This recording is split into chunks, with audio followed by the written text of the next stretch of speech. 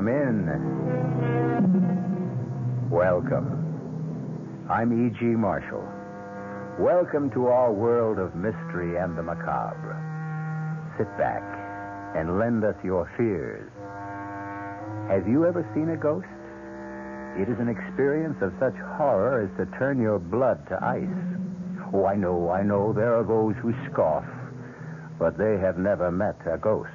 Our mystery drama, The Ghost Driver, was written especially for the Mystery Theater by George Lowther and stars Augusta Dabney and Mason Adams. It is sponsored in part by Anheuser-Busch Incorporated, brewers of Budweiser, and by the Kellogg Company, makers of Kellogg's Special K cereal. I'll be back shortly with Act One.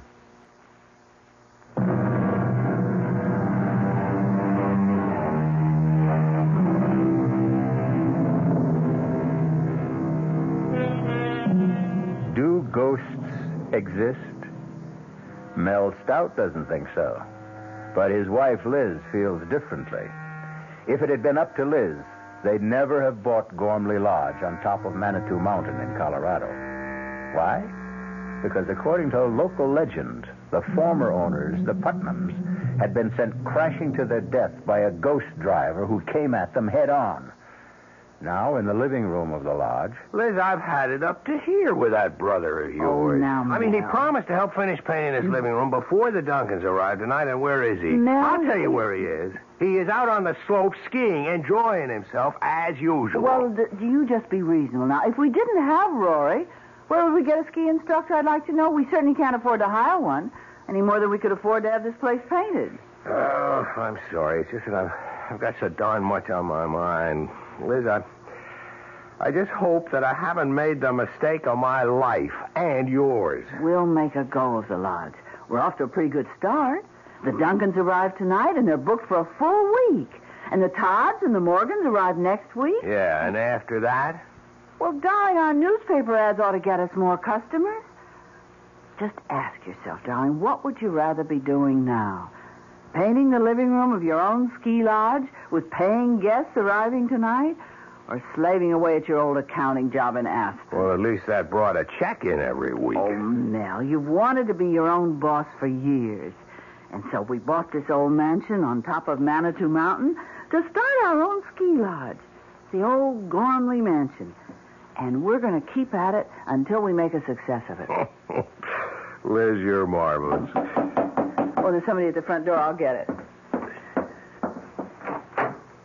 Oh. Oh, Mrs. Gormley. Come to pay you a visit, Miss Stout. My first formal visit. Well, that's very good of you, Mrs. Gormley. Uh, well, won't you come in? All right, Jason, you heard the lady. Wheel me in. Yes, Mother. You know my son, Jason. You've met? Yes, yes, briefly. Mel, the Gormleys have come to pay a visit. I see you, Mrs. Gormley. Jason. Uh, hope you don't mind if I finish this painting. Oh, go right ahead. I'd give you a hand, old as I am, but my arthritis keeps me in this wheelchair. Jason, why don't no, thanks. I couldn't think of asking a fine arts painter to you... do Fine a- art. You hear that, Jason? Mr. Stout complimented you, called the mountain scenes you paint fine art. Well, they are. Why, I saw some of them in the ski shop in town. They're very good. Do you sell many? A few. Oh, just enough to cover the cost of the paint and canvas. Oh, yes, and a quart of whiskey now and then. Mother, please. Well, now, they, if they don't hear it from me, Jason, they'll hear it from others. A drink now and then. Now and then. Tell the stouts how you play Russian roulette with that old revolver of your father's when you're drunk. Stop it, Mother. Stop Or it. perhaps you'd like some coffee, Mrs. Gormley, or, or tea. It won't take a minute. No, no, no, no, thank you. We won't be here that long. Now, I've come to do for you what I did for the Putnams. Them that bought my house out from under me three years ago. Out from under you? Mrs. Gormley, are you saying that, that we have done that? Forced you out of your house? Well, haven't you? Oh, it's not your fault. Jason's father left us destitute. Left me destitute, I should say. with a son too lazy to support his old mother. So I had to sell this beautiful place. Mother, the Stouts aren't interested in all this past history. Well, they'd better be if they value their lives. Value our lives. Well, Mr. Halliday didn't tell you Of course. Tell us what? about how the Putnams met their death. Why, yes. The real estate man told us about the accident. That was no accident. No more than my husband's death was an accident. He died in the same way. Uh, His car crashed off the bridge into the gorge. Right 800 feet down into the gorge, to the rocks 800 feet below. But no accident. Suicide. The Putnams didn't commit suicide. Not them. My husband, Jason Sr., raving drunk and suicidal, but theirs was no accident either, the Putnams. He drove them off that bridge. Who? My husband. Now, wait a minute, Mrs. Gormley. If your husband was dead. Hi. Hi, I'm back. Oh, sure. Naturally, Rory. Now, the painting job is nearly done. Oh, now don't get uptight, Mel. I, I just didn't remember it till I was out on the slopes. Hi, Mrs. Gormley. Jason. Uh, paying a little social call? It's anything but social. Mrs. Gormley, are you saying that your husband, even though he was dead, somehow killed the Putnams? Liz, come on now. All right, I'll tell you. After my husband's death, when I realized I'd been left penniless, and that I'd have to sell this place, I fell into a state of depression. When the Putnams bought Gormley Lodge, well, they were going to use it as a winter home, not turn it into a ski resort like you. When they bought it, and I had to move into a little guest house, I was so sad I thought I'd die. For days and days I sat and wept, and and then, and one night, my husband come to me. Your husband? You dreamed? It was no dream. Oh, it was my husband. His ghost. Oh, for the love. Rory, He stood at the foot of my bed, and he begged my forgiveness for leaving me a pauper and breaking my heart. And he said, Jessica, I promise you'll live in Gormley House again. And then he, he vanished. The very next night, the Putnams crashed through the bridge over Gormley Gorge. Well, accidents do happen. It was no accident. Now, the real estate man didn't tell you the whole story. Mrs. Putnam lived long enough to tell just what had happened. Well, you can ask the sheriff. The Putnams didn't go off the bridge by accident. They were driven off it. Forced to swerve off it by an oncoming car. A car driven by a skeleton. Good heavens. That's what I wanted to tell you. And now you know. Good day. Well, what kind of a put on is this? She's trying to scare us out of here. I'm trying to save your lives. You're trying to get back into this house. That's what you're doing. Just the way you moved back after the Putnams got killed and lived here a full three years until now. Rory, have some respect, for the... Respect? No way. She may be old, but she's as shrewd as they come. She frightens you off, then moves back in again and stays until some other sucker comes I along. warn you, Just let us know when your husband's ghost shows up again. it did. What? Last night. Oh, man, this is the neatest ripoff I've Shut ever... up, Rory. Will you... Your husband's ghost? Last night? Yes. And he used the same words. Jessica, I promise you'll live in Gormley Lodge again. Oh, I beg you, listen to me. The Putnams wouldn't and went to their death. Oh, Mrs. Gormley, you're really out of sight. You, you know... You, so smart. You're so sure of yourself. You think he isn't watching and listening, my husband? Do you think he doesn't know how you insulted me? And do you think he'll not repay you? Oh, yes. If people are to die this time, too, you will be the first. Now be warned. Jason, wheel me back. Be warned.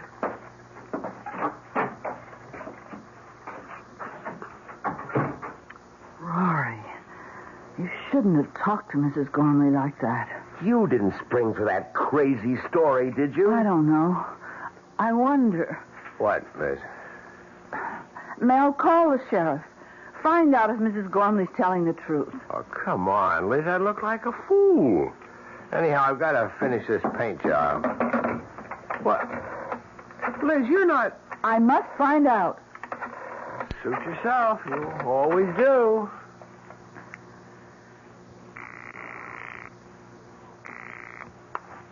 Sheriff Harper speaking. Oh, Sheriff, uh, this is Elizabeth Stout calling. We're the new owners of Gormley House. Oh, oh, yes. What can I do for you, Mrs. Stout? Well, we just had a visit from Mrs. Gormley. Oh? What do you mean, oh? Oh, nothing, Mrs. Stout, only she can be a little hard to take. Getting on in years. Yes, well, what I wanted to ask you. Of course, you remember the accident to the Putnams three years ago, crashing off the bridge over Gormley Gorge. Yes, yes, I remember. Well, according to Mrs. Gormley, Mrs. Putnam lived long enough to tell you what had caused the accident. Is that so? Uh, yes, it is. And what did she tell you? Well, now, Mrs. Stout, she was near death. Maybe out of her head with pain and shock. What did she tell you, Sheriff? Did she tell you that they had been forced to swerve off the bridge because of another car that came straight at them? A car with a skeleton driving it? Well, as I said, she was out of her Did head. she? Yes, that's the story she told me. Thank you. Goodbye. So? Mrs. Gormley told the truth. The Putnam woman was dying. Anybody in that condition is liable to say anything. I suppose. Now look, just just just get off it, Liz. We put our life savings, every cent we've got in this place, and I'm not leaving, ghost or no ghost. Well, speaking of leaving, I'd better get on down into Manitou and pick up the Duncans at the airport. Well, it's a bit early, isn't it? Or have you got some cute chick in town that you'd like to spend an hour or so with? Mel, you put me.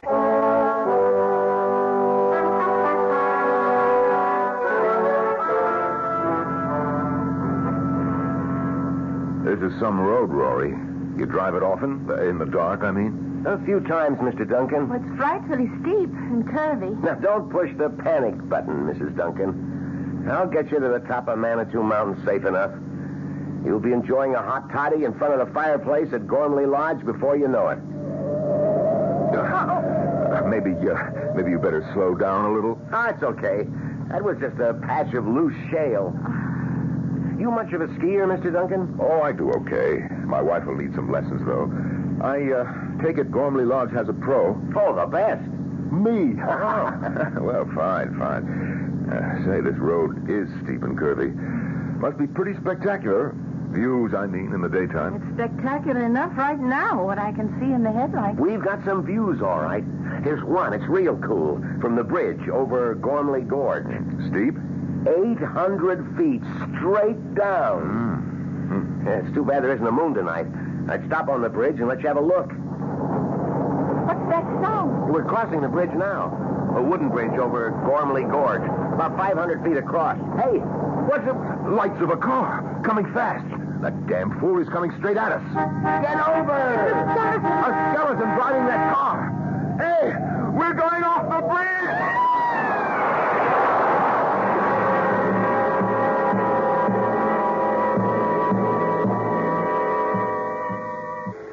I'll be back shortly with Act Two, if you have the nerve to return.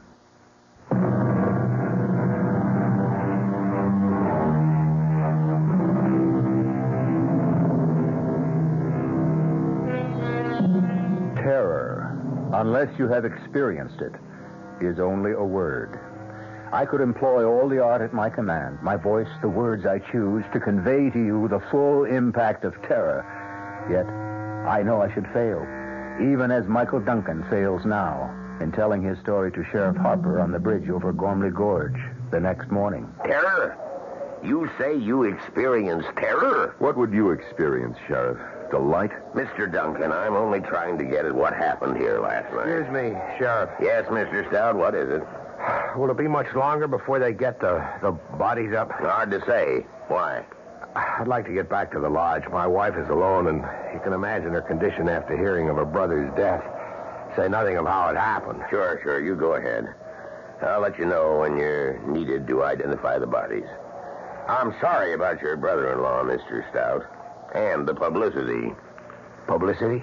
And this is the second time the ghost driver has struck. Ghost driver. And the news has got out.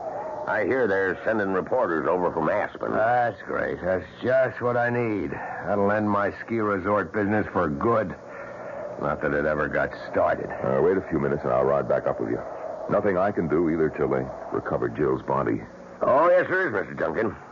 You can give me a full account. Now, look, Sheriff, I've told you all I know. We were driving across this bridge when we saw this other car coming straight at us. Stout's brother in law was driving. He swerved to avoid the oncoming car and went through the guardrail. In the split second between swerving and going through the rail, I leapt clear and saved myself. I wish I could say the same for that boy and and Jill, my wife. About the skeleton at the wheel of the other car. Why do you keep harping on that? Because it's something to harp on. If you saw a skeleton driving that car. I didn't. You said. I know what I said, but well, I've got to be wrong. I couldn't have seen what I thought I did. Why not? Because I don't believe in skeletons driving cars. I don't believe in ghosts. Now take it easy, Mr. Duncan. All I'm after is a complete report. The facts. All you're after is the publicity you're going to get out of this. Put you on the map, won't it, Sheriff? Why, you might even get a job in one of the big Colorado ski resorts like Aspen or Vail. That'll be enough, Mr. Duncan. You can go. I'll phone the lodge when I need you.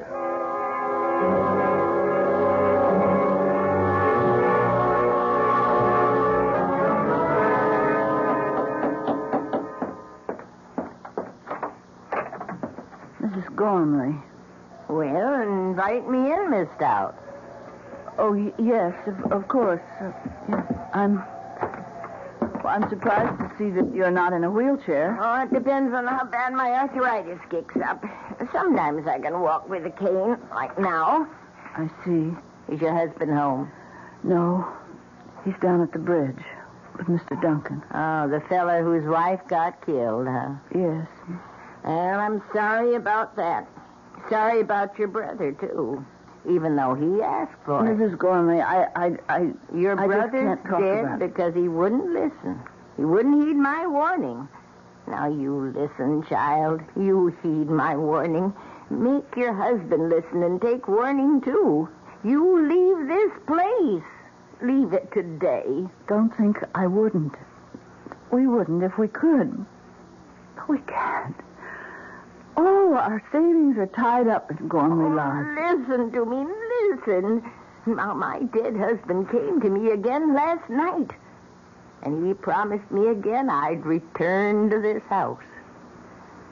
You love this old house, don't you? Well, it was my life. You're a woman. You understand how that is. Yes. I came here a bride 40 years ago. Jason, senior, that is. He was just starting his career as a painter. Jason, my son, was born here. There was another child, a little girl. She died here. No, this house isn't made of wood and stone. I'm sorry. I'm so sorry. Oh. Oh, I think they've come back. Yes.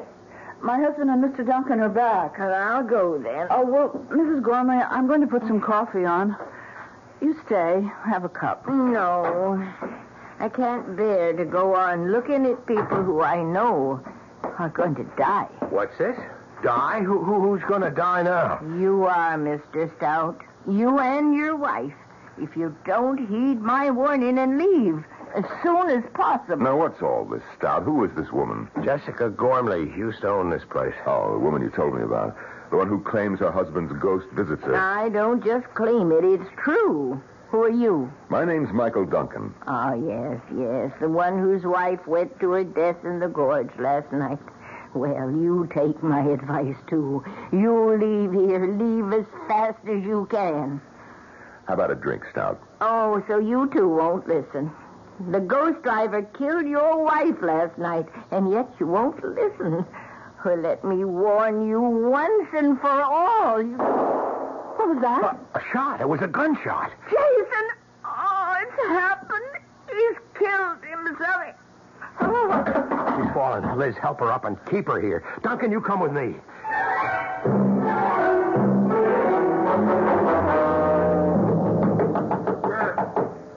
Occurring. Yeah, Mr. Stout. What do you want? Oh, you're okay, Jason. We heard a gunshot. What of it? Well, we've heard of you and your little games like Russian roulette, and we thought that, That you... I'd shot myself? No such luck. Come in if you want to. Oh, the, uh, the gunshot we heard. I fired it. Deliberately. You fired that shot deliberately? You ask a lot of questions for someone I haven't even met. This Mike Duncan, he and his wife are to be my first guests. It was his wife who got killed last night. Oh. I'm sorry. How did you escape? Flung myself from the car just before it went through the guardrail. Well, you'd better keep an eye out for the old man's ghost. He'll be after you. Uh, Mr. Gormley, I don't believe in ghosts. Now, why did you fire that revolver? What business is it? All right. I'll tell you. You'll think it's nutty. I'm sure. I've been playing Russian roulette with this gun for years, ever since my father died. And I always win. Or lose, depending on how you look at it. And how do you look at it, Jason? I give it to you straight, Mr. Stout. I want to lose. For years now, I've picked up the gun like this. Oh, no, not every day. Maybe once a week, once every other week. Whenever the mood comes on me. And I put it to my temple. Like this. Wait a minute. Don't worry. Gun's empty. I haven't put in a fresh bullet yet. You see, the reason I deliberately fired that bullet I had in this gun was to find out if the thing was a dud. It wasn't. Too bad. May I shake your hand, Mr. Duncan? You're the first man I've ever met who says what he thinks. You want to kill yourself? Go ahead. I like you. You do speak your mind. And now, gentlemen, if you'll excuse me, I've got to get back to this painting of mine. By the way, what do you think of it? Pretty lurid, isn't it? That's just the right word for it, Mr. Stout. See? There's the car swerving and crashing through the bridge. The oncoming ghost car with the skeleton at the wheel. All in flaming color. I knock out one an hour. I slap a frame on it and I sell it in Manitou for 20 bucks. So excuse me, will you? Business is going to pick up, thanks to last night. And I want to be ready to supply the demand.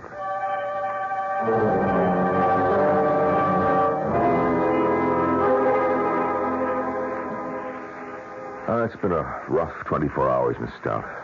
It's a nice chair. Just right for sitting in front of a fire. Cost you plenty, I'll bet. Yes, plenty. But that isn't what I'm thinking about. You're thinking about your brother and my wife lying in their coffins at the undertaker's in Manitou. Yes, and also that even a small village like Manitou has an undertaker. Birth, death, taxes. The only sureties in life, Mrs. Stout. Les. Mike. I, uh, I like your husband. Me too. He told me about everything. About what getting this ski resort means to you. Your life savings invested, all that. All down the drain, I'm afraid. The publicity? What else? Every reservation's canceled. Well, all except one. But that'll come in too. It has, Liz. Yes? There it is. Please cancel my reservation for next week, Frank Norton. Has a family of four. Telegram phoned in from Aspen. Anybody got a sponge? A sponge. So I can throw it in. I'm through, Mike. You always give up this easy? What do you mean easy? Just that. Do you always fade when the going gets tough? Well, this is the time to start fighting. Does it make good sense to let all this go down the drain because somebody's playing a trick on you? A murderous trick? Do you think it's a trick? What else could it be? A skeleton driving a ghost car? What else but a trick? Well, what else? You were in that car last night. You saw. And it was a skeleton behind the wheel of the oncoming car. You told the sheriff that. You can still say that. That it was a trick, yes. What kind of trick? Damn it, Mike, you admit you saw a skeleton driving a car, but you can still call it a trick? Yeah, see, I see you don't answer. Uh, Look, Mel, I'm a practical man, a businessman. You think being a businessman is simple? Oh, no. I've had troubles that would make yours look like, like nothing. Today you won't find anybody more successful than me. But I've been bankrupt twice. Yes, and paid off every cent. How? Well, not by running away the way you want to, but by standing up and fighting. And that's what you've got to do right now. How? You tell me how, and I'll do it. Look, we'll, we'll do it together. I've got a stake in this, too, you know. My wife is dead. Murdered, yes, murdered. Not by a ghost, but by a trick. And if it's the last thing I do, I'm going to find out who played that trick and make him pay. And you don't think it's a ghost? Do you? Answer me. Do you believe in ghosts? Did you believe before you came here and ran into this mess you're in? Well, no, I didn't. Then why start believing now? Ha! Ghosts, my foot. Now, this is a trick. Somebody wants to stop you from turning Gormley Lodge into a ski resort. And if you ask me, it's the Gormleys. One or the other or both is behind all this. Or that sheriff down in Manitou. The sheriff? Oh, Mike, you don't really think that the I don't know what to think, Liz. All I know is that somebody's behind this, and those are the three likeliest suspects. Now, look, I'm, I'm no Sherlock Holmes, but I've got a brain, and I've got guts, and, and, well, my wife is dead, my, my Jill. Well, I, I'm just going to find out who killed her, that's all. The tougher they are. You like a drink, Mike? No, no, no, thanks. I'll be okay. Especially when I nail that murderer. What, what have you got in mind? Well, it'll be dark in about an hour. We take the car, Mel, you and me. We take the car and we drive up and down that road, all night if necessary, to meet up with this so called ghost driver. And when and if we meet up with him, Yes. If and when you meet up with him, what? we don't turn aside. We don't swerve out of his path and off the bridge. We drive straight at him and keep driving at him. If he's a ghost in a ghost car, we'll drive through him. And if he isn't? If he isn't. Well, if he isn't, it'll be one hell of a crash.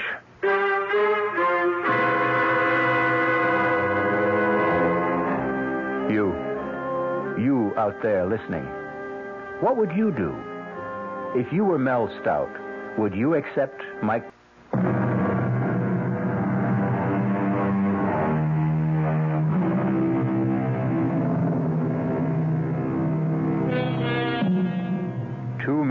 Now driving the twisting, precipitous mountain road that leads to Gormley Lodge. One, Mike Duncan, believes that the ghost driver they hope to meet is nothing but a trick. Mel Stout, his life savings, every penny at stake, has had no choice but to go along. Mike, I'm bushed. Let's make this the last trip. Uh-uh. We're going to drive up and down this road till dawn. Yes, and night after night if we have to. Until we meet up with our so-called ghost driver. This is the sixth time we've been up and down this mountain road. Okay.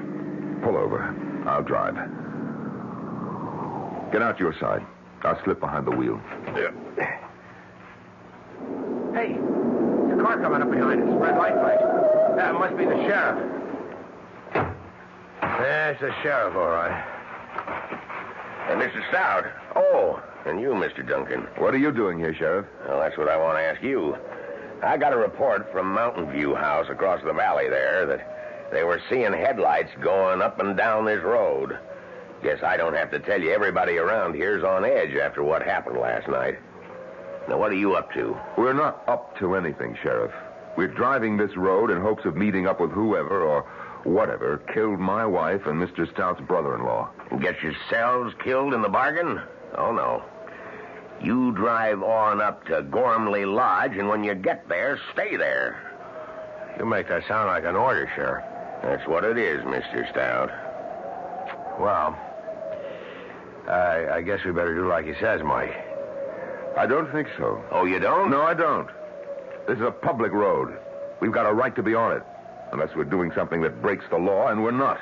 You're a kind of troublemaker, Mr. Duncan, aren't you? Sheriff, I never go looking for trouble, but I know how to handle it when it comes my way. Now, either you arrest us for breaking some law or other, in which case you'd better be prepared to back it up, or I'll sue the town of Manitou and you for false arrest, or get off our backs. I'm not on your backs. I'm trying to save your lives. Take my advice. and- Advice, huh? I thought it was an order. All right, wise guy. Have it your way. Go ahead and get killed and and be damned to you. Uh, let's go, Mel. You can sure sound tough, Mike. Uh, no small town sheriff pushes me around. Well, he's only trying to do his job. Maybe, and maybe not. What do you mean? I don't know. But that's what we're going to find out. Tonight, tomorrow night, or whenever. Now, there's the bridge ahead. Yeah, maybe you better slow down. No. If it's a ghost, we'll go through it. If it isn't, Mike, headlights coming toward us. now look, don't lose your nerve. Coming closer. We're gonna crash if you don't. Mike, driving that car. It's Rory. Your brother-in-law, my God! Mike!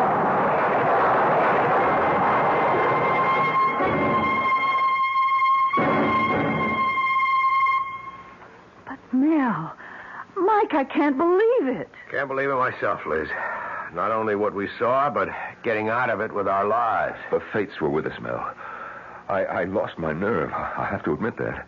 I just couldn't keep driving straight at that that awful thing coming toward us. I, I couldn't help myself.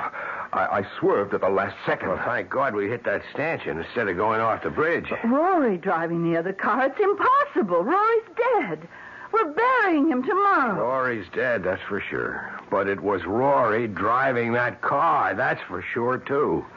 Then, then ghosts do exist? Mel? Yes, huh? After the funeral tomorrow, let's get out of here. Let's go away from this place as fast as we can. And go where?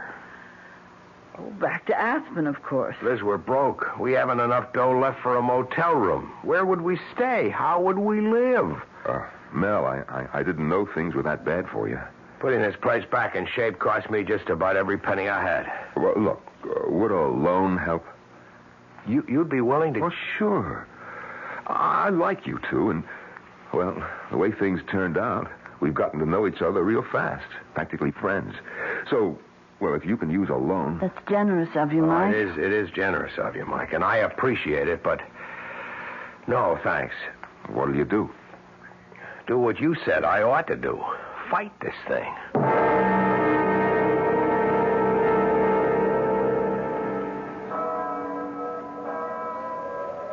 Liz? Mike? If you ever come east, be sure to look me up. We will, Mike. Yes, of course. You, you won't change your mind about the loan? Can't. Would only be putting off what's bound to happen. Unless, Unless what? unless I can find the answer to what goes on here. There's something bothering me, something I feel that I saw somewhere but didn't pay much attention to at the time. Well, what about it, this, this something? It's just something that's bothering me, is all. Something that just could give me the answer to all of this. Hmm. Well, good luck. You deserve it. Oh, there's the taxi that's going to take me to the airport. Goodbye, Liz. Goodbye, Mike. Bye. Bye bye, Mike, Bye. and thanks. Well, we'd we'd better get on back, Liz. Liz, you coming? Yes. Mel, you better know it now. No matter what you intend to do, I won't be staying.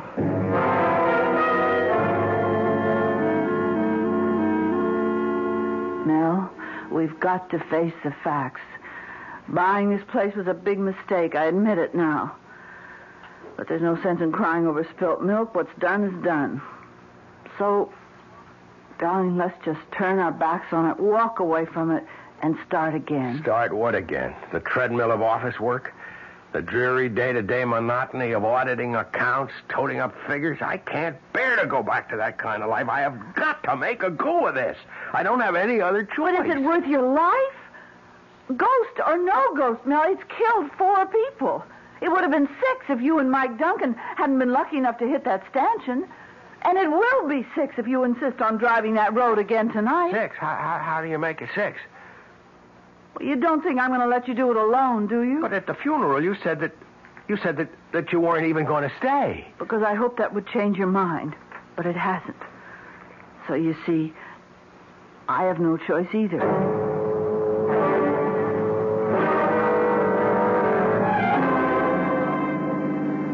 It's just like last night with Mike. From the top of the mountain down to Manitou, then back up again and again, and no sign of him. But he did show, finally. And Mike lost his nerve, swerved aside at the last second. Let's hope I don't lose mine. Will it matter? What do you mean? Well, if you lose your nerve, we'll go off the bridge. If you don't, and the ghost car isn't a ghost car, we'll be killed in a crash. If there is a crash, but there won't be. You seem awfully sure of that. I am. Remember at the cemetery I told Mike there was something I had seen but hadn't paid any attention to? Yes. And that if I could only remember what it was, I'd have the answer to all of this? Yes? Well, it's come to me. Driving up and down the mountain tonight, it suddenly came to me. See, it wasn't something I'd seen, it was something I'd heard and paid no attention to. Something I knew but didn't realize what it meant. And if I'm right, Liz, if I'm right, What is it? What did you remember? we're on the bridge now. Let me concentrate on driving. Mel? Mel! Mel, there it is, the ghost car. It's coming straight for us. Yes. And behind the wheel, driving it, it's Rory! Oh, my God, it's Rory! Oh, we buried Rory. But and it's his ghost, Mel! Get your hands off the wheel. Don't try to turn the wheel. We're gonna crash! Mel! Mel!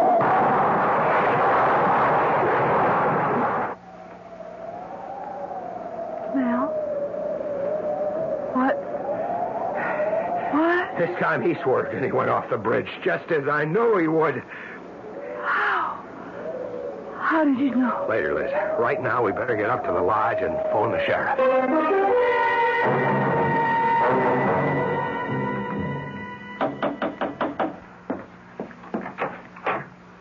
Oh. Oh. Come in, Mrs. Gormley. Mel? Mrs. Gormley's here. Please, won't you sit down? Yeah, thank you. Hello, Mrs. Gormley. I'm sorry about last night. I'm not. Mrs. Gormley, Jason was your son. Oh, he was the torment of my life. Every day I lived. Of course, I'm sorry he's dead, but uh, I can only be glad it's over for me. Did you know that your son was the ghost driver? I suspected, but I was never sure. You see, it was Jason who wanted to go on living here in this house far more than I did. Oh, you can understand. He was born here. He grew up here. Started his painting career here in a fine, big studio upstairs. Tragic. Just tragic. Even more tragic if it hadn't been for you. How did you come to know? What made you realize that my son was the ghost driver? A gunshot. A gunshot? The shot he fired to see whether the bullet he used for playing Russian roulette was live or not. Well, I don't, I don't follow you. You see, something kept bugging me, Mrs. Gormley, but I, I couldn't nail it down because I kept thinking it was something that I'd seen. But then suddenly I realized it wasn't something I'd seen, but something I'd heard. That gunshot. I, I still don't. it, it, it got me to thinking about Jason playing Russian roulette, playing with life and death. And that got me to thinking a step further. Sure, Russian roulette. Only a fool or a would-be suicide would play it. But the fact remains that the odds are in his favor. Every time Jason spun the barrel of that gun and pulled the trigger, the chances were five to one against firing the bullet. oh, but, but what was the connection between that and, and the ghost driver? Driving a car straight at another car is just another form of Russian roulette. Ah, yes, I see. Well, Sheriff Harper came to see me, and he said Jason was wearing a mask, a paper mache mask of your brother's face. Yes, and it wasn't a very good likeness of my brother, but it didn't have to be. It looked enough like him to fool you when you saw it under those awful conditions. The night and the headlights and and the car coming straight at you. Fear did the rest. There must be another mask, the skeleton face. Oh, there is. We, we, we searched the studio and we found it, Sheriff Harper and me. Yeah, well, it's all over. Jason's at peace at last. God knows I soon shall be. Well, good day. Funny, though. What, Mrs. Gormley? Well, we've searched and we've searched, but we couldn't find a mask of my husband's face. What made you think there was one? Well, you see, when I heard about the masks, I thought it must have been Jason who came and stood at the foot of my bed, not my husband's ghost. But if it wasn't Jason, who was it? What was it?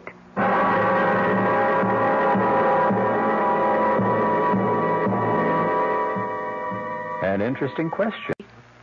Our cast included Augusta Dabney, Mason Adams, Mary Jane Higby, Norman Rose, Nick Pryor, and Leon Janney. The entire production was under the direction of Himan Brown. Radio Mystery Theater was sponsored in part by new sugar-free diet 7-Up. This is E.G. Marshall inviting you to return to our Mystery Theater for another adventure in the macabre. Until next time, pleasant dreams.